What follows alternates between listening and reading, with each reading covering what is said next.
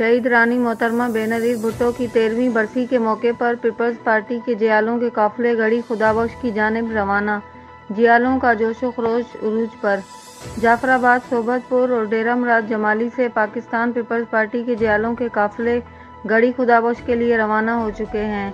डेरा मुराद जमाली से सबक सूबाई वज़ीर मीर सादिक उमरानी, डेरा यार से कैसर खान चांडे और सोबतपुर से सलमान खान खोसा की क्यादत में शहीद रानी मोहतरमा बेनजीर भुट्टो की तेरहवीं बरसी में शिरकत के लिए जियालों के काफिले गढ़ी खुदाबश के लिए रवाना हो चुके हैं।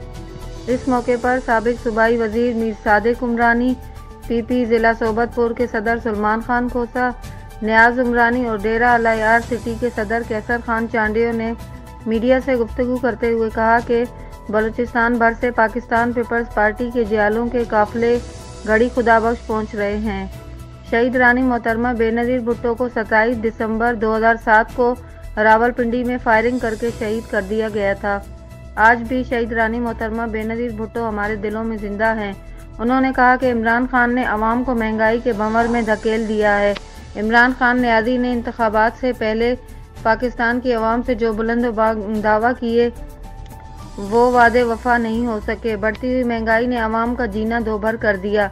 पाकिस्तान पीपल्स पार्टी के चेयरमैन बिलावल भुट्टो जरदारी आवाम को मौजूदा सिलेक्टेड हुकूमत के चुंगल से आज़ाद कराएँगे।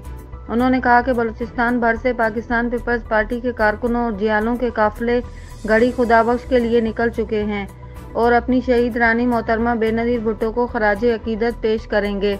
मोहतरमा बेनजीर भुट्टो आज भी करोड़ों पाकिस्तानियों के दिलों पर राज कर रही हैं। आज भी बीबी ज़िंदा हैं, ज़िंदा है, भुट्टो ज़िंदा है। जाफराबाद, सोबतपुर और डेरा मुराद जमाली से सैकड़ों की तादाद में जियाले वैगनों, बसों और कारों और मोटरसाइकिलों पर गड़ी खुदाबख्श में शिरकत के लिए रवाना हो चुके हैं। शहीद जमहूरियत मोहतरमा बेनजीर भुट्टो की बरसी में शिरकत के लिए काफिलों की सूरत में रवा दवा हैं।